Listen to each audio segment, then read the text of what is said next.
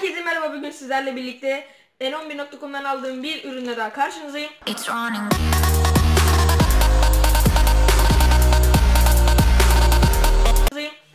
Arkadaşlar bugün sizlerle birlikte mikrofonuma e, sünger aldım.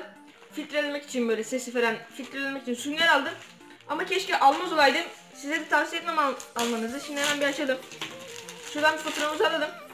Arkadaşlar satıcı çok e, kötü yani. Hiç ilgilenmiyor mesajlarınıza. Ve bir tane sünger göndermiş. Normalde 5 tane göndermesi gereken bir tane göndermiş. Ama ben bir şey demeyeceğim yani. O da onun şeyi. Yukarıda Allah var. Neyse şimdi açalım. Ben açtım çünkü neden açtım? 5 tane olması gerekiyordu. Baktım bir tane var. Dedim ne oluyor? Şöyle açalım isterseniz sarılımızı da. İçinde zaten hiçbir şey yok. Gördüğünüz üzere bir adet sarı bir e, sünger çıktı. Bu süngerde arkadaşlar defollü.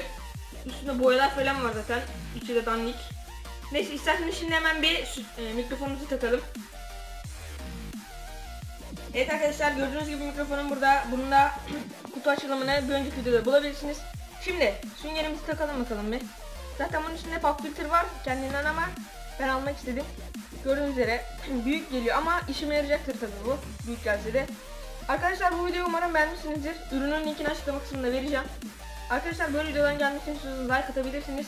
Bunun devamını sağlamak için. Kanalıma abone olarak da beni mutlu edebilirsiniz. Biraz da görüşmek üzere. Kendinize bakın. Bay bay.